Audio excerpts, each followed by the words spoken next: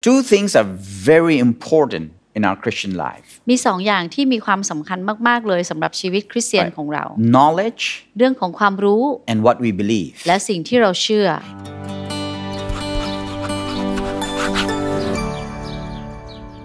Good morning, everyone, and welcome to Daily Gospel Truth. อรุณสวัสดิ์นะครับ ยินดีต้อนรับเข้าสู่ความจริงของข่าวประเสริฐ You know, if you found out about our channel just now, ถ้าวันนี้คุณเพิ่งจะเจอช่อง YouTube นี้ของเรา well, please go ahead and subscribe. ยังไงหนุนใจให้ช่วยกด subscribe ด้วยนะครับ You know, we want you to grow in your relationship with God. เพราะว่าเราเองก็อยากที่จะให้คุณได้เติบโตมากขึ้นในความสัมพันธ์ที่ดีกับพระเจ้า We want you to learn how to walk in faith เราอยากจะให้คุณได้เรียนรู้เกี่ยวกับวิธีการดำเนินชีวิตด้วยความเชื่อ and experience the victorious and purposeful life God has for you. และได้รับประสบการณ์กับชัยชนะกับสิ่งดีๆ ที่พระเจ้าเองได้ทรงจัดเตรียมไว้ให้กับคุณ And the experience of all these things begin with the revelation of God's word. และประสบการณ์ดีๆ ทั้งหมดเหล่านี้เนี่ยจะเริ่มต้นจากถ้อยคำของพระเจ้าที่เราเองได้รับรู้ได้รับการเปิดเผยสำแดง You know, two things are very important in our Christian life มีสองอย่างที่มีความสำคัญมากๆเลยสำหรับชีวิตคริสเตียนของเรา knowledge เรื่องของความรู้ and what we believe. และสิ่งที่เราเชื่อ If we have wrong knowledge, ถ้าเรามีความรู้ที่ผิด we will have wrong beliefs. ก็จะทำให้เรามีความเชื่อที่ผิดด้วย Well, if we have right knowledge, we'll have right beliefs. แต่ถ้าเรามีความเชื่ออาความรู้ที่ถูกต้อง เราก็จะมีความเชื่อที่ถูกต้อง And ด้วย so, knowledge and belief is very, very important. ความรู้และความเชื่อจึงเป็นเรื่องที่สำคัญมาก All right. So, first of all, the knowledge of our new life in Christ. ๆ ก่อนอื่นเลยก็จะเป็นความรู้เกี่ยวกับตัวตนใหม่ของเราในพระเยซูคริสต์ That is a non negotiable truth If we want to walk in all that God has for us. ตรงนี้ก็ถือว่าเป็นความจริงที่สำคัญมาก ๆ ที่เราไม่สามารถจะต่อรองได้ ถ้าเราอยากจะเห็นสิ่งดี ๆ เกิดขึ้นในชีวิตข See, องเรา even if you're born again, and that's a wonderful thing, ต่อให้คุณบังเกิดใหม่แล้วก็ตาม ซึ่งการบังเกิดใหม่มันเป็นเรื่องที่วิเศษมาก ๆ เลย if we don't have the knowledge of our newness in แต่ Christ, ถ้าเราไม่ได้รับความรู้เกี่ยวกับตัวตนใหม่ของเราในพระคริส and ต์ if our belief is not established in our newness in และ Christ, ถ้าความเชื่อของเราไม่ได้อยู่บนพื้นฐานของตัวตนใหม่ การบังเกิดใหม่ การเป็น คนใหม่ในพระเยซูค you ริ know, สต์ we will not walk in the experience of victory and, and purpose that God has for us. เราก็ไม่สามารถดำเนินชีวิตอยู่ในชัยชนะและจุดประสงค์ที่พระเจ้าเตรียมไว้ให้กับเราได้ And so,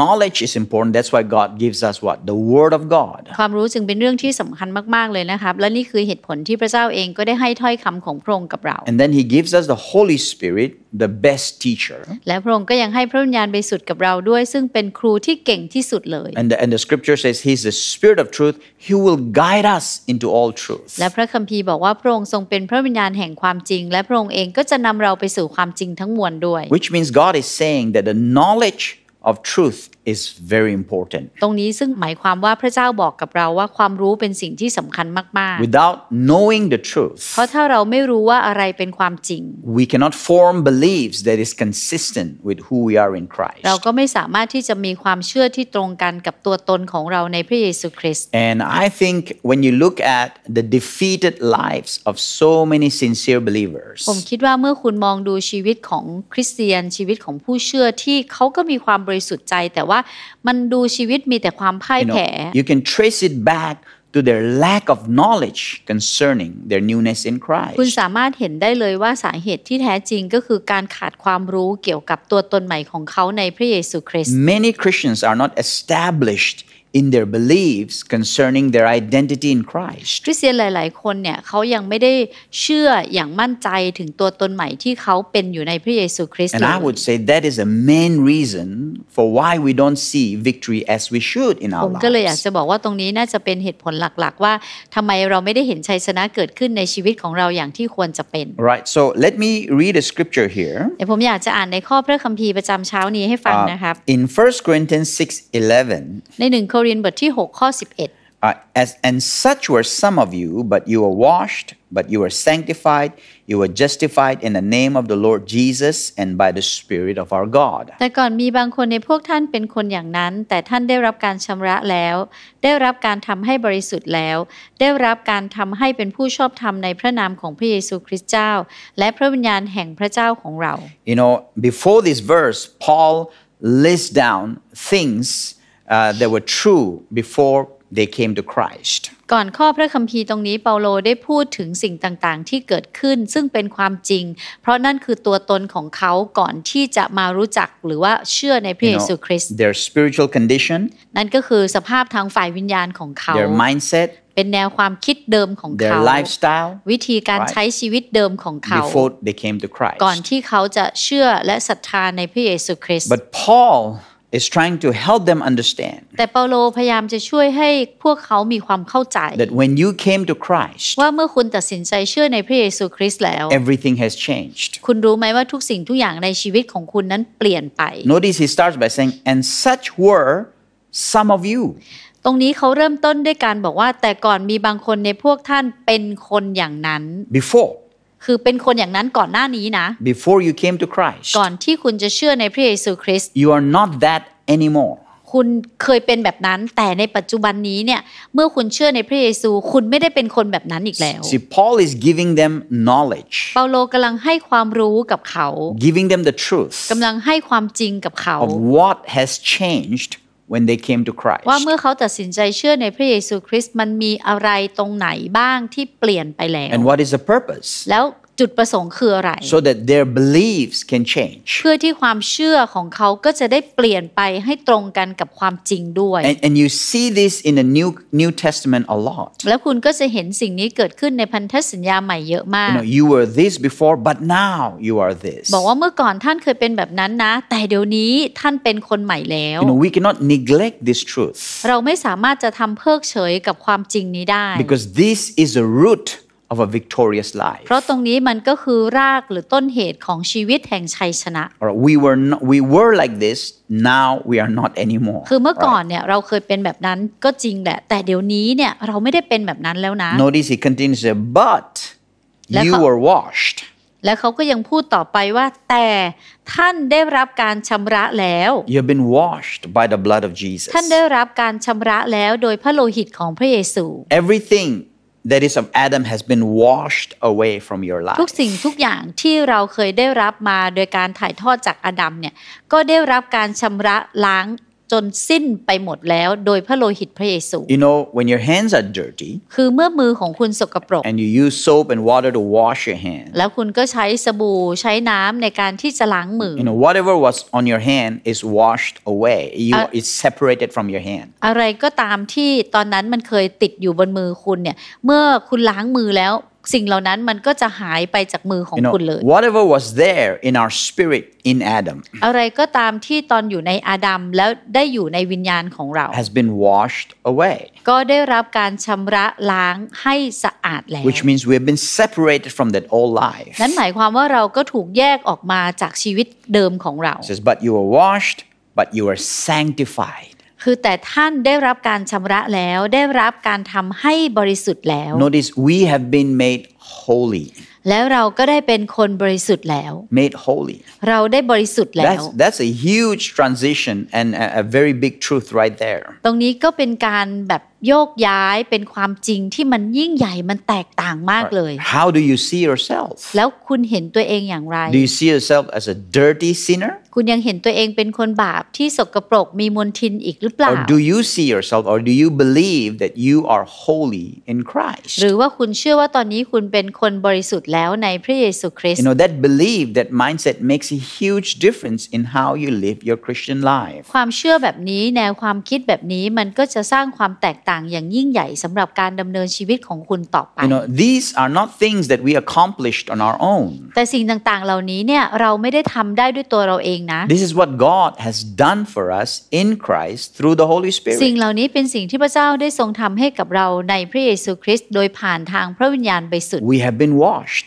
เราได้รับการชำระแล้ว and we have been made holy. แล้วเราเองก็ได้รับการทำให้บริสุทธิ์แล้ว You know, I guarantee you, most Christians don't see themselves holy. เชื่อผมเถอะว่าคริสเตียนหลาย ๆ คนเนี่ย ยังไม่ได้มองเห็นตัวเองว่าตัวเองได้รับการทำให้บริสุทธิ์แล้ว You know, that's because they don't see themselves in Christ. และเขาก็ไม่ได้เห็นตัวเองอยู่ในพระเยซูคริสต์ They don't see the truth of the new covenant. เขาไม่ได้เห็นความจริงของพันธสัญญาใหม่เลย It doesn't say that you will be holy. ในข้อนี้ไม่ได้บอกว่าวันหนึ่งท่านจะได้รับการทำให้บริสุท It ธิ์ says, but you were done, sanctified, made holy. แต่บอกว่าท่านได้รับ ได้รับแล้วได้รับการทำให้บริสุทธิ์แล้ว ตอนนี้หมายความว่าคุณเองบริสุทธิ์แล้ว And then it says, but you are justified in the name of the Lord Jesus and by the Spirit of God. แล้วท่านเองก็ได้รับการทำให้เป็นผู้ชอบธรรมในพระนามของพระเยซูคริสต์เจ้า และพระวิญญาณแห่งพระเจ้าของเรา So not only was our sins washed away, ไม่เพียงแต่ความบาปของเราได้รับการชำระล้างเท่านั้น not only were we made holy, ไม่ใช่ว่าเราได้รับการทำให้บริสุทธิ์เท่านั้น but now we have become right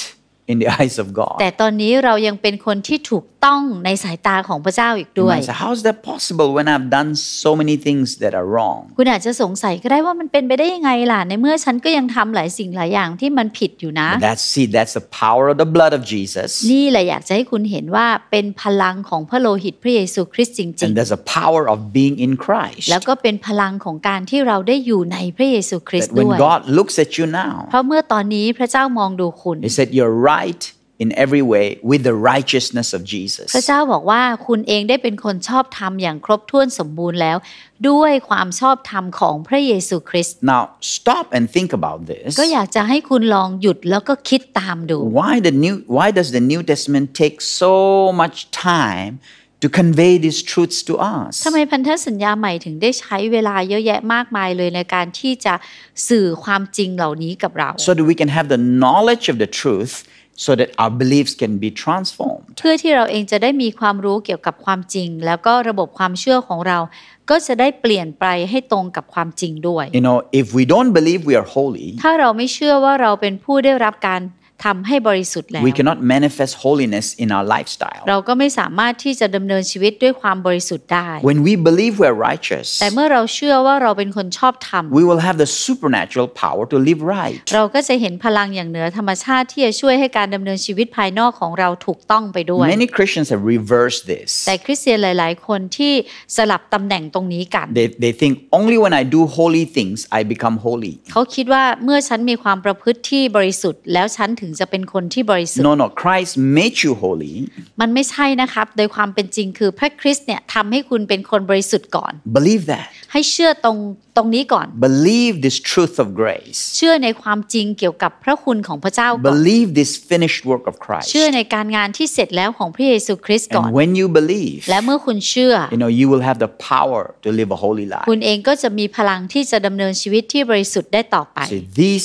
is what I'm talking about. อันนี้แหละคือความหมายของสิ่งที่ผมได้พูดถึง Knowledge of the truth เป็นความรู้เกี่ยวกับความจริง that forms right beliefs. ก็จะทำให้เกิดความเชื่อที่ถูกต้องตามมา This is the key to our Christian ตรง life. นี้เป็นกุญแจสำหรับชีวิตคริสเตียนที่ประสบความสำเร็จของเรา Let's pray. ให้เราที่ฐานด้วยกันนะครับ Father, we thank you for all that we are in Christ. พระบิดาลูกขอบคุณพระองค์สำหรับทุกสิ่งทุกอย่างที่ลูกเป็นที่ลูกมีอยู่ในพระเยซูคริสต์ That what we could never do for ourselves, สิ่งที่เราไม่สามารถจะทำให้ตัวเราเองได้นั้น God, you have done it for us in พระ Christ. เจ้าพระองค์ได้ทรงทำให้กับเราเสร็จแล้วในพระเยซูคริสต์ And we thank you for this newness that we have in และ Christ. เราขอบคุณพระองค์สำหรับการเป็นคนใหม่ที่เรามีอยู่ในพระเยซูคริสต์ In Jesus' name. ในพระนามพระเยซู Amen. เมน